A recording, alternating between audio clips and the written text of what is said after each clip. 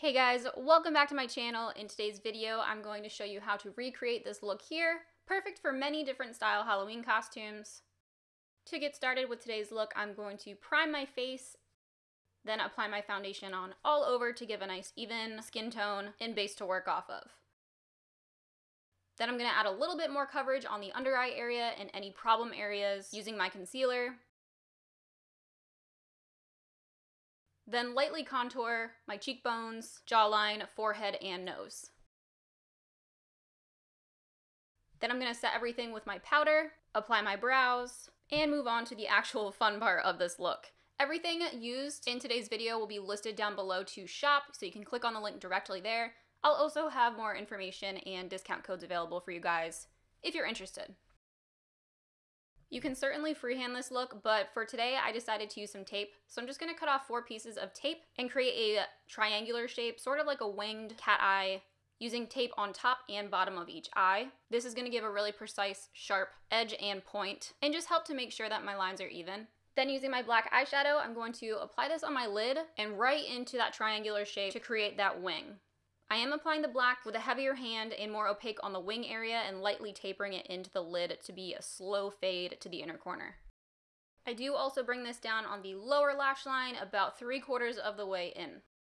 Then I'm going to apply my liquid glitters. So I'm actually going to use a couple different ones to get the look I'm going for, but I'm going to place this directly over the black eyeshadow we already applied, applying this in layers to really build this up. Then I'm going to remove the tape that we used as a border and just take a really tiny brush and lightly smudge out the edges. I just wanted to blend these a bit more. If you want to leave them super crisp, that's up to you. Another fun trick with the tape is if you do have too much glitter fallout, you can just use the tape and lightly press it against your skin, any area you want to pick up the fallout or excess glitter. Then I'm just going to use a makeup wipe and gently clean off under my brow to really lighten and brighten that area. Again, also just to help remove any excess black shadow or shimmer that may be there. Then using my concealer in a small brush, just applying that over top for any cleanup. Then to darken the inner lash line or waterline, I'm using a cream eyeliner and a very small brush, corner to corner on the top and about three quarters of the way in again on bottom. Then applying mascara on top and bottom, and false lashes on top. I couldn't decide what lip color I wanted to do at first, so I did start off with a nude. I do end up changing it by the end of this video, but that's up to you. Now to create the spiderweb detail, I'm using a black face paint and a very small brush. You could also use a black liquid eyeliner. And I just applied this on one eye, working off of that thick winged eyeliner. You could apply this same design on both eyes, or if you want it more subtle, you can leave it under one like I did. So I decided I wanted to add a little bit more drama to this look, so I changed the lip color from nude to black. So I'm just gonna take my black lip and apply that right over top.